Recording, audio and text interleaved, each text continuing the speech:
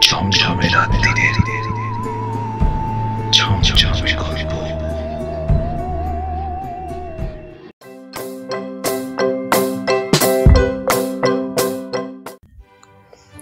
নমস্কার বন্ধুরা হরার হান্টে আপনাদের স্বাগত। হরার হান্টে আমরা নিয়ে আসি ছোট্টদের ভূতভূতম ছমছমানি গল্প দত্তি দানো চোর কিংবা ডাকাতের গল্প আমরা শোনাবো। তবু আমার সবচেয়ে পছন্দের কিন্তু বাংলার ভূতের গল্প। বাংলার ভূতের বৈচিত্র্য অনেক। হরর হান্টে আজ আমরা শোনাব প্রখ্যাত কথাসাহিত্যিক, কবি, চিত্র পরিচালক প্রেমেন্দ্র মিত্রের লেখা মাঝরাতের কল। প্রেমেন্দ্র মিত্র বলতেই আমাদের প্রথমেই মনে পড়ে ঘনাদার কথা। ঘনাদার মজার মজার গল্প যিনি লিখেছেন তিনি আবার উপহার দিয়েছেন হানাবাড়ির মতো সিনেমা। কথা না বাড়িয়ে তাই শুরু করছি প্রেমেন্দ্র মিত্রের লেখা মাঝরাতের কল। গল্প পাঠে উপস্থাপনায় আর শব্দ যোজনায় আমি আপনাদের হোস্ট এবং দোস্ত সমন্তক। সহযোগিতায় শাশ্বত কর। বন্ধুরা, তাহলে আর দেরি কেন? চলুন, ঢুকে পড়ি গল্প দুনিয়ার কল্পরাজ্যে। শুরু করছি প্রেমেন্দ্র মিত্রের লেখা মাঝরাতের কল।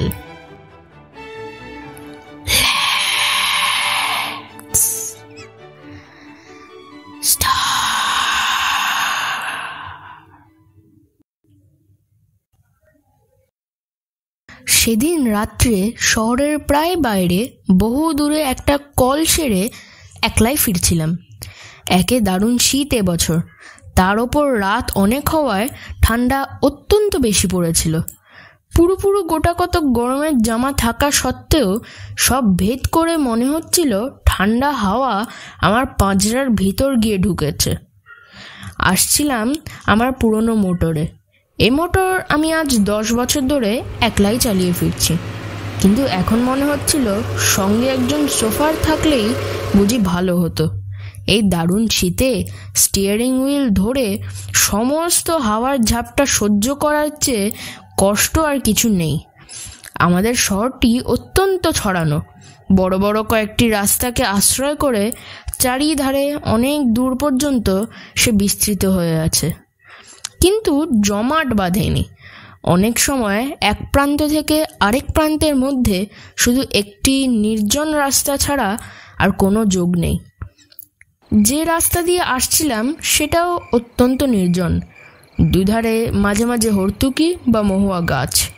আর রাস্তার দুধারে শুধু শূন্য অসমতল মাঠ। তার ভেতর বাড়িঘর নেই বললেই হয়। কে বাড়ি করবে এই নির্জন জায়গায়? অন্ধকারে অবশ্য এসব কিছুই দেখা যাচ্ছিল না।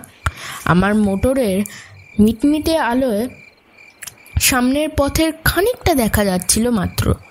যেতে যেতে মনে হচ্ছিল অন্ধকারের সমুদ্রেই যেন আমার মোটরের আলোয় কেটে চলেছি কোনো রকমের শীতের দারুণ কষ্ট পেলেও বেশ নিশ্চিন্ত মনেই চলছিলাম। আমার কারটি পুরনো হলেও মজবুত। বেয়ারাপনা সে করে না। আধ ঘণ্টার মধ্যেই বাড়ি পৌঁছে গরম লেপের মধ্যে আরাম করে যে শুতে পাবো, এ বিষয়ে কোনো সন্দেহ ছিল না।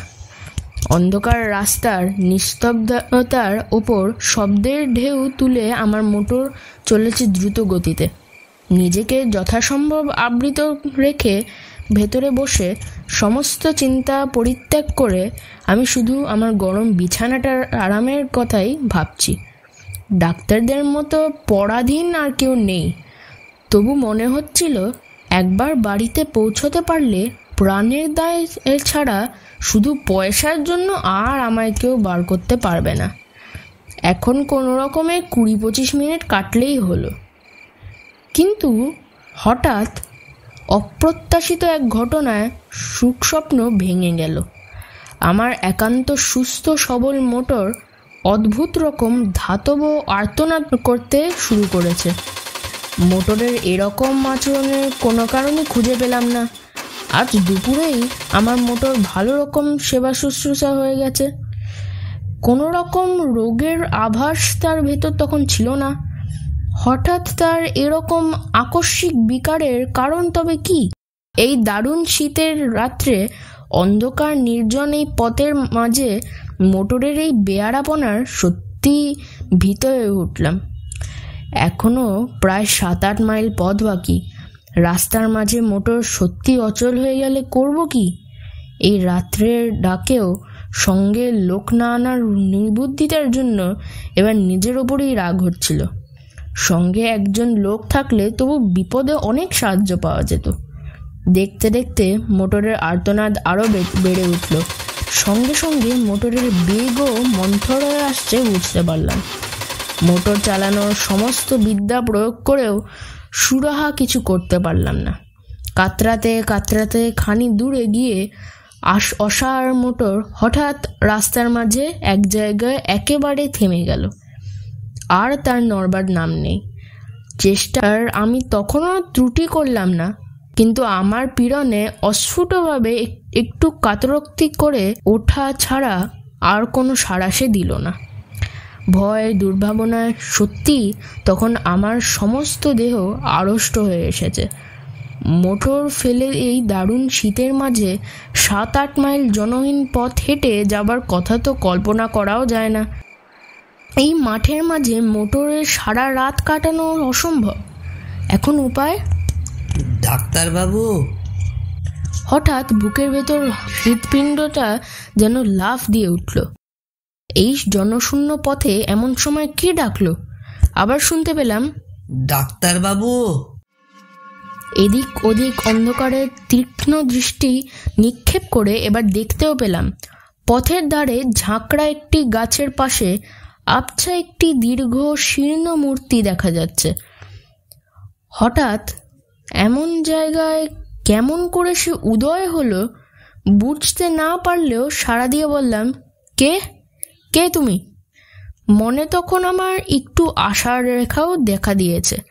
আর তার আবির্ভাব যেমন বিস্ময়করই হোক না কেন, লোকটার কাছে সাহায্য পাবার সম্ভাবনা তো আছে।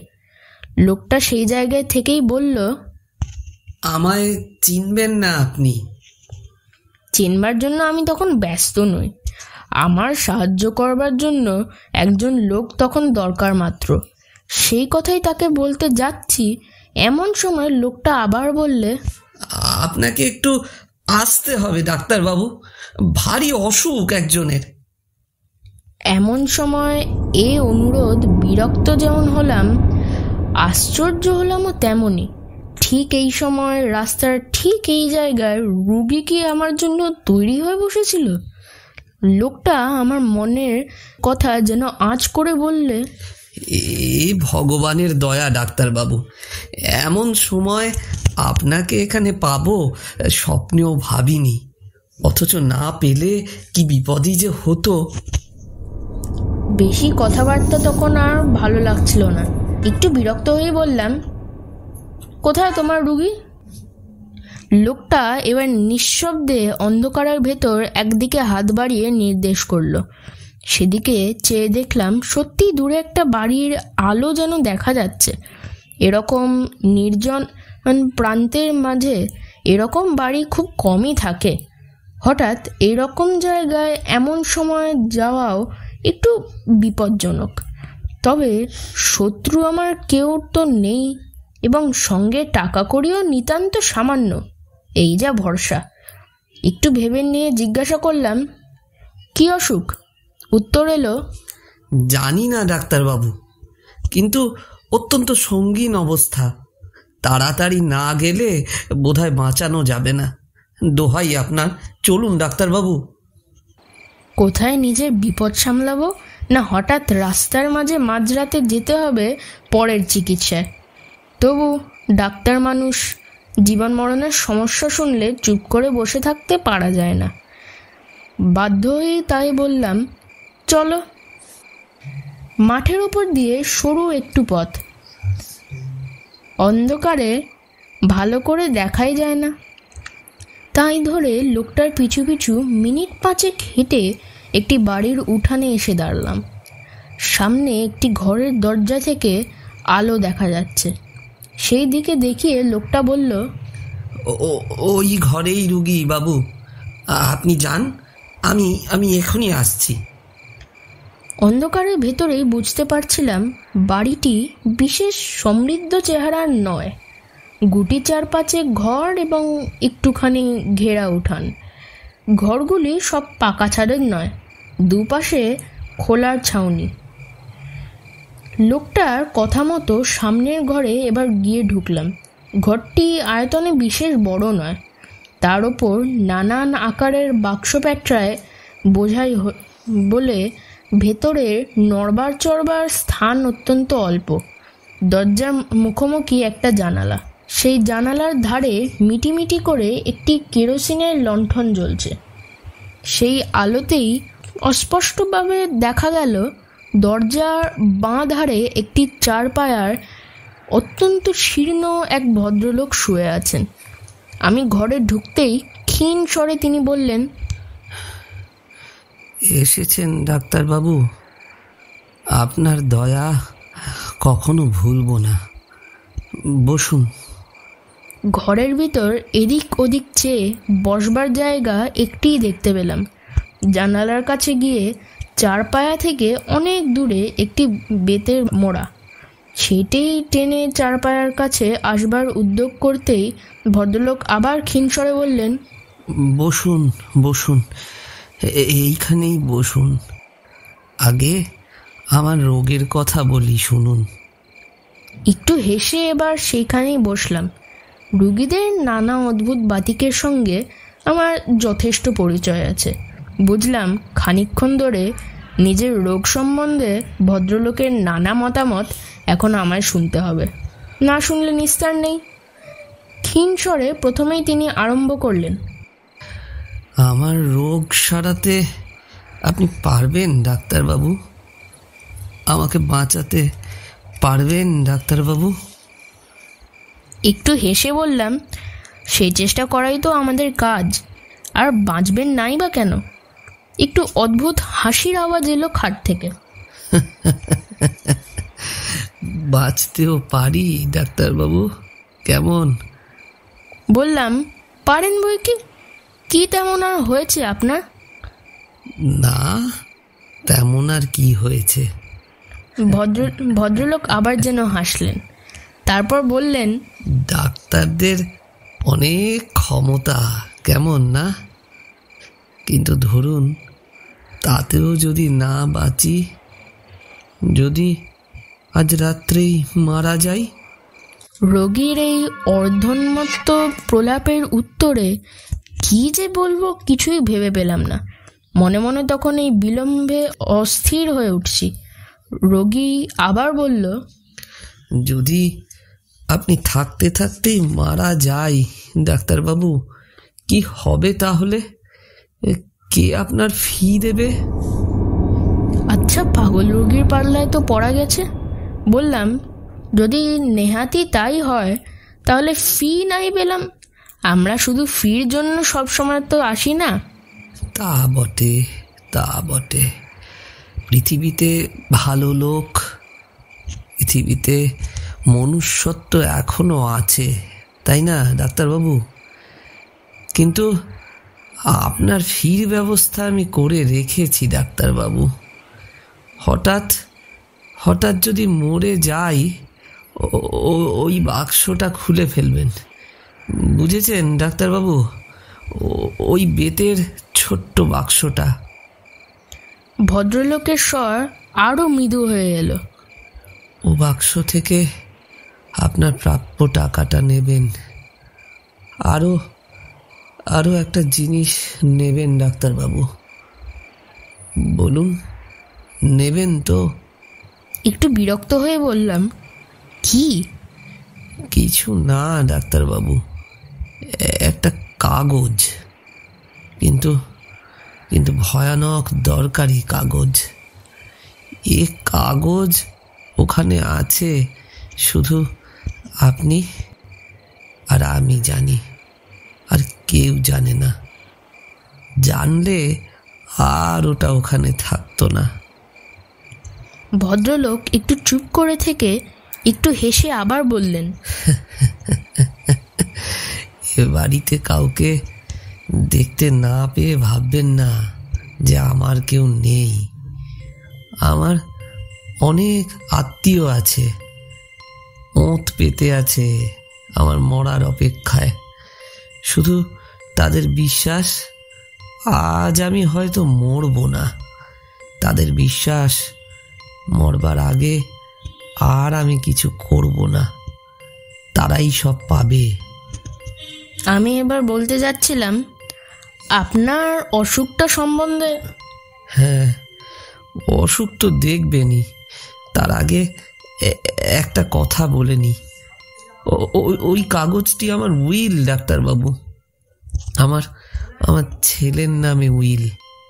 ডাক্তারবাবু, সে ছেলেকে আমি ত্যায্য পুত্র করেছিলাম একদিন। কোথায় আছে তাও জানি না। কিন্তু জানেনই তো, রক্ত জলের চেয়ে ঘন। আর বেশিক্ষণ অপেক্ষা করা যায় না। মোড়া থেকে উঠে পড়ে আমি বললাম, এবার আমি দেখতে পারি? খাট থেকে আওয়াজ এলো দেখুন। আমি খাটের কাছে এগিয়ে গিয়ে রোগীর নাড়ি দেখবার জন্যে হাতটা তুলে ধরলাম এবং পর মুহূর্তেই সেই দারুণ শীতের ভেতরেও আমার সমস্ত দেহ ঘেমে উঠল। সে হাত বরফের মতো ঠান্ডা। রোগী মৃত?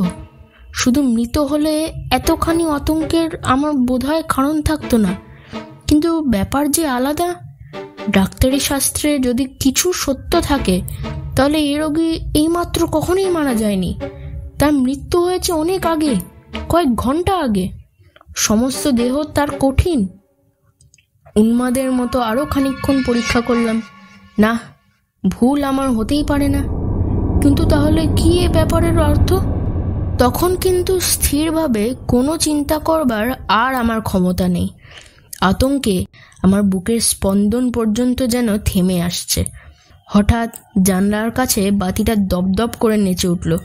সেটা একবার নেড়ে দেখলাম তাতে তেল এক ফোঁটাও নেই। প্রান্তরের মাঝে নিস্তব্ধ নির্জন বাড়িতে এই ভয়ঙ্কর অবস্থায় আমি একা।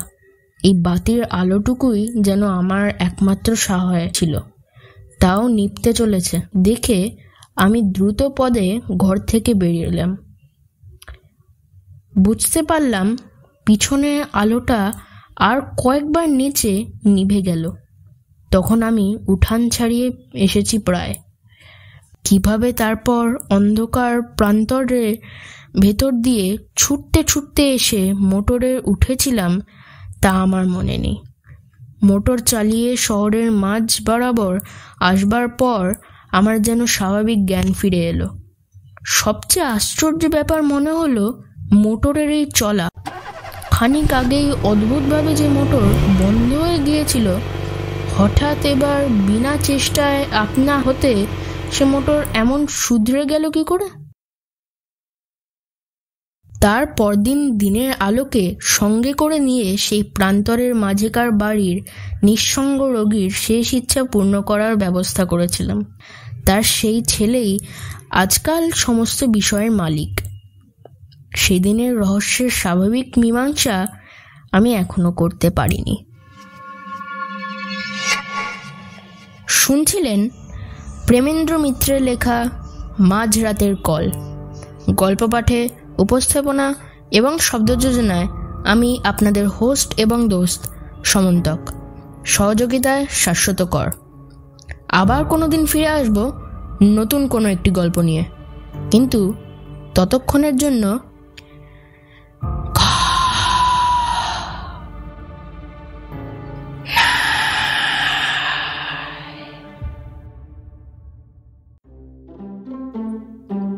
Please subscribe our channel and to get the latest updates on this channel, please click on the bell icon. Please like our video if you like it. Please leave a comment in our comment section below to tell us how our video was. Feel free to share. Thank you.